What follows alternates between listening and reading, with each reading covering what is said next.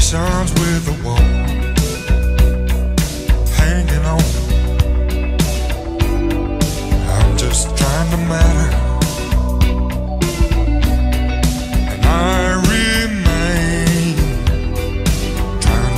some sense of it